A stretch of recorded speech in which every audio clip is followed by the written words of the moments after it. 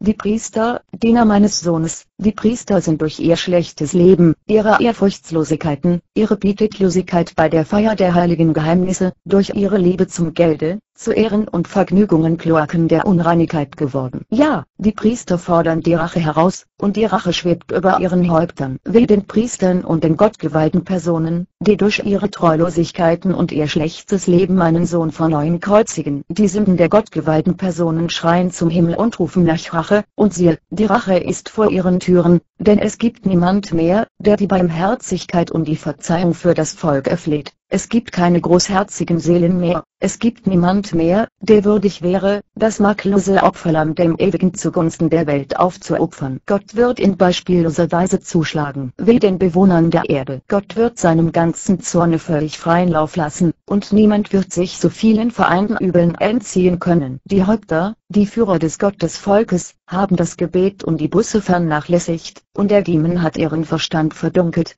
sie sind irrende Sterne geworden, die der alte Teufel mit seinem Schweife nach sich zieht, um sie zu verderben. Gott wird es der alten Schlange gestatten, Endzweigen unter die Regierenden, in alle Gesellschaften, in alle Familien zu bringen, man wird körperliche und geistige Beinen erleiden, Gott wird die Menschen sich selbst überlassen und wird Strafgerichte senden, die während mehr als 35 Jahren aufeinander folgen werden. Die Menschheit steht am Vorabend der schrecklichsten Geiseln und der größten Ereignisse. Man muss darauf gefasst sein, mit eiserner Rute geführt zu werden und den Kelch des Zornes zu trinken. Der Stellvertreter meines Sohnes, der Hohepriester Pius IX., verlasse Rom nach dem Jahre 1859 nicht mehr. Er sei vielmehr standhaft und großmütig und kämpfe mit den Waffen des Glaubens und erlebe. Ich werde mit ihm sein. Er traut dem Napoleon nicht. Sein Herz ist doppelzüngig, falsch. Und wenn er gleichzeitig Papst und Kaiser sein will, wird sich Gott bald von ihm zurückziehen. Er ist jener Adler, der in seinem Streben, immer höher zu steigen, in das Schwert stürzen wird, mit dem er die Völker nötigen will, ihn aufsteigen zu lassen. Dies sagte Maria im Jahre 1846, als Napoleon III. zur lebenslänglicher Haft verurteilt, im Gefängnis sitzt und man nicht an sein künftiges Kaisertum dachte. Anmerk D. Übersetzers. Italien wird für seinen Ehrgeiz, das Joch des Herrn alle Herren abzuschütteln,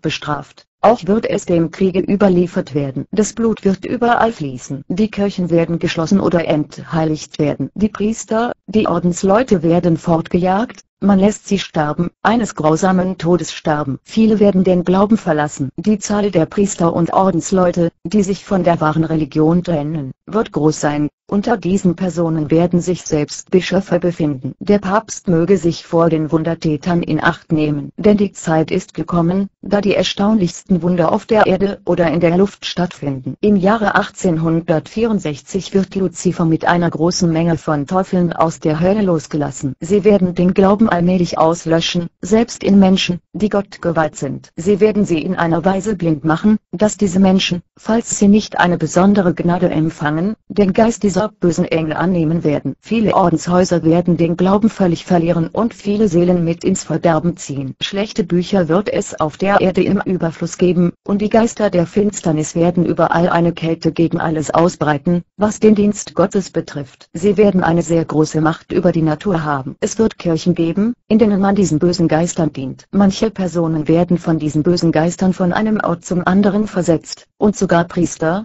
weil diese sich nicht vom guten Geiste leiden lassen, der ein Geist der Demut, der Liebe und des Eifers für die Ehre Gottes ist. Man wird Tote und Selbstgerechte auferstehen lassen, im Spiritismus, der diese Toten werden die Gestalt der gerechten Seelen annehmen, die auf Erden gelebt haben, um die Menschen besser verführen zu können. Diese sogenannten Toten, unter deren Gestalten sich nur Teufel verbergen, werden ein anderes Evangelium predigen, das dem des wahren Jesus Christus entgegengesetzt ist, das das Dasein des Himmels sowie die verdammten Seelen leugnet. Alle diese Seelen werden wie mit ihren Leibern vereinigt erscheinen. Zusatz von Melanie selbst Überall werden außergewöhnliche Wundertaten vorkommen, da der Glaube erloschen ist und das falsche Licht die Welt erleuchtet. Will den Kirchenfürsten, die nur nach Reichtümern und nach Erhaltung ihrer Autorität und nach stolzer Herrschaft trachten. Der Stellvertreter meines Sohnes wird viel zu leiden haben, da die Kirche eine Zeit lang schweren Verfolgungen ausgesetzt sein wird. Das wird die Zeit der Finsternisse sein. Die Kirche wird eine schreckliche Krise durchmachen. Da der heilige Glaube an Gott in Vergessenheit geraten ist, will jeder Einzelne könne sich selbst leiten und über seinesgleichen stehen. Man wird die bürgerlichen und kirchlichen Gewalten abschaffen. Jede Ordnung und jede Gerechtigkeit wird mit Füßen getreten werden. Man wird nur Mord, Hass, Missgunst, Lüge und Zweitracht sehen, ohne Liebe zum Vaterlande und zur Familie. Der Heilige Vater wird viel leiden. Ich werde bei ihm sein bis zum Ende, um sein Opfer anzunehmen. Die Bösewichter werden mehrere Male seinem Leben nachstellen, ohne seinen Tagen schaden zu können. Aber weder er noch sein Nachfolger. Am Rande ihres Exemplares von Leser hat Melanie diese Worte zwischen Klammern geschrieben, der nicht lange regieren wird, werden den Triumph der Kirche Gottes sehen. Die bürgerlichen Regierungen werden alle dasselbe Ziel haben, das da ist, die religiösen Grundsätze abzuschaffen und verschwinden zu lassen, um für den Materialismus, Atheismus, Spiritismus und alle Arten von Lastern Platz zu schaffen. Im Jahre 1865 wird man den Gräuel an heiligen Städten sehen. In den Ordenshäusern werden die Blumen der Kirche in Fäulnis übergehen, und der Teufel wird sich als König der Herzen gebärden. Die Oberen der Orden Ordensgemeinschaften mögen auf der Hut sein, wenn sie jemand in das Kloster aufzunehmen haben,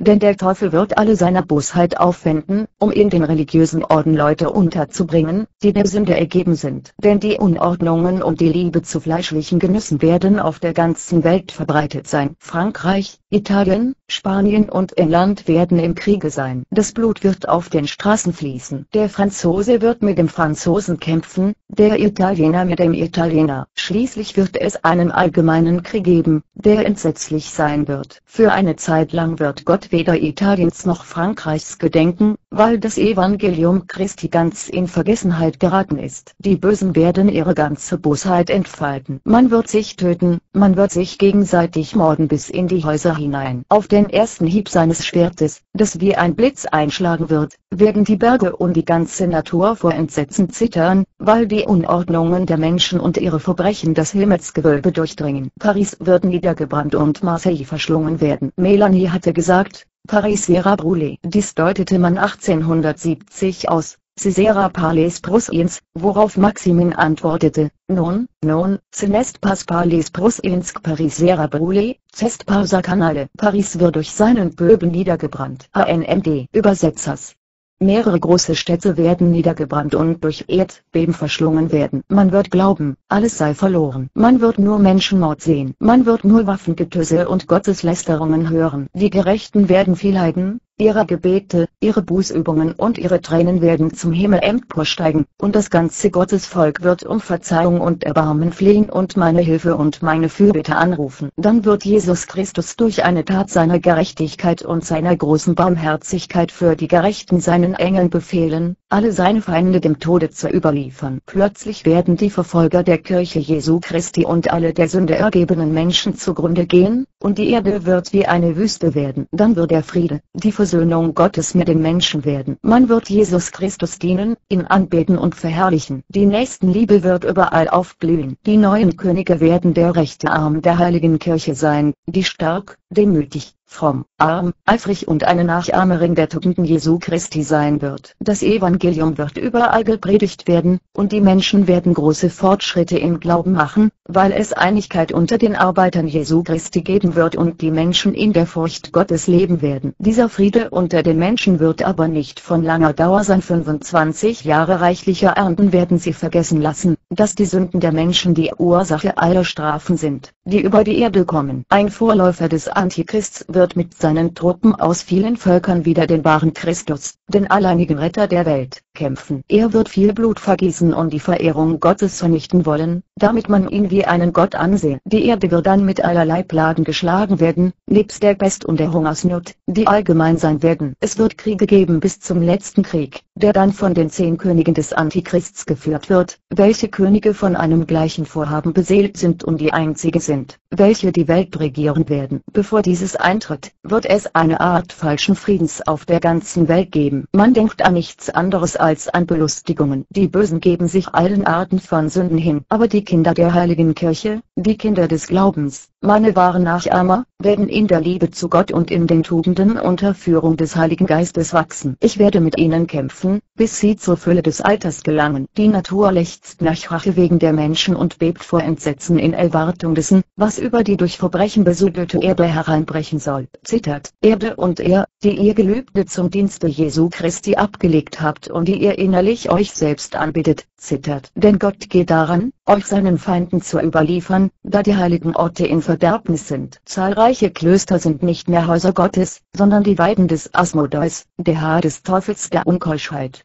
ANM der Übersetzers und der Seinen. So wird es um die Zeit sein, wenn der Antichrist geboren wird von einer jüdischen Ordensfrau, einer falschen Jungfrau, du ne religiöse Hebraik, du ne falsche Viertel, die mit der alten Schlange, dem Meister der Unzucht, im Bunde stehen wird. Sein Vater wird Bischof sein. Bei seiner Geburt wird er Gotteslästerungen ausspeien, er wird Zähne haben, mit einem Wort, dieser ist der fleischgewordene Teufel. Er wird in ein schreckliches Geschrei ausbrechen, er wird Wunder wirken, er wird sich nur von der Unzucht nähren. Er wird Brüder haben, die zwar nicht so wie er fleischgewordene Teufel, wohl aber Kinder des Bösen sind. Mit zwölf Jahren werden sie sich schon durch glänzende Siegel, die sie davon tragen, auszeichnen. Bald wird ein jeder von ihnen an der Spitze einer Armee sein, unterstützt von Legionen der Hölle. Die Jahreszeiten werden sich verändern. Die Erde wird nur schlecht schlechte Früchte hervorbringen, demon die Sterne werden ihre regelmäßigen Bahnen verlassen. Der Mond wird nur ein schwaches rötliches Licht wiedergeben. Wasser und Feuer werden auf der Erde furchtbare Erdbeben und große Erschütterungen verursachen, welche Berge und Städte versinken lassen. Rom wird den Glauben verlieren und der Sitz des Antipeinen Christs werden. Die Dämonen der Luft werden mit dem Antichrist große Wunderdinge auf der Erde und in den Lüften wirken, und die Menschen werden immer schlechter werden. Gott wird für seine treuen Diener und die Menschen guten Willens sorgen. Das Evangelium wird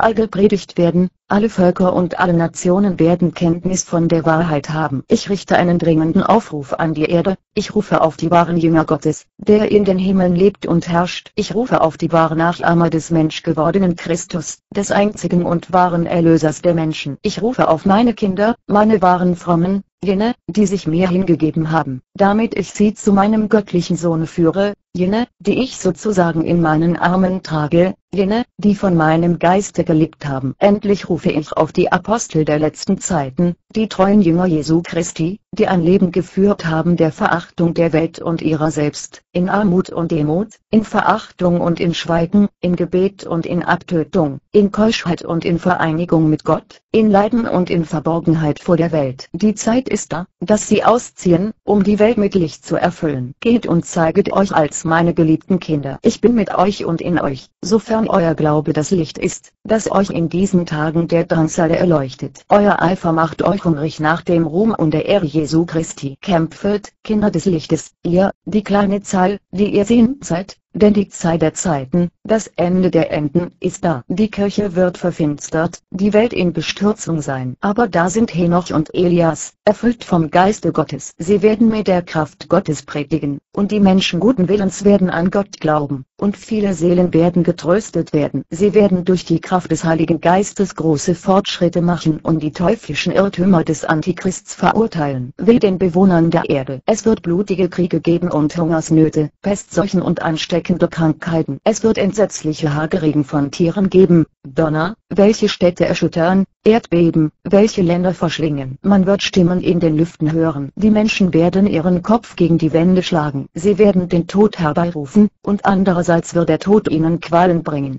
Überall wird Blut fließen. Wer könnte da siegen, wenn Gott nicht die Zeit der Prüfung abkürzte? Durch das Blut, die Tränen und die Gebete der Gerechten wird sich Gott erweichen lassen. Henoch und Elias werden dem Tode überliefert. Das heidnische Rom wird verschwinden, und Feuer vom Himmel wird herabfallen und drei Städte verzehren. Die ganze Welt wird von Entsetzen geschlagen. Es ist Zeit. Die Sonne verfinstert sich. Der Glaube allein wird leben. Nun ist die Zeit da. Der Abgrund öffnet sich. Sieh da den König der Könige der Finsternis Finsternisse. Siehe da das Tier mit seinen Untergebenen, das sich nennt. Stolz wird es sich in die Lüfte erheben, um zum Himmel aufzusteigen. Er wird durch den Hauch des heiligen Erzengels Michael erstickt. Er stürzt herab, und die Erde, die sich seit drei Tagen in beständiger Umwälzung befindet, wird ihren Schuss voll des Feuers öffnen. Er wird verschlungen für immer mit all den Seinen in die ewigen Abgründe der Hölle. Dann werden Wasser und Feuer die Erde reinigen und alle Werke des menschlichen Hochmuts vertilgen, und alles wird erneuert werden. Dann wird Gott gedient und verherrlicht werden,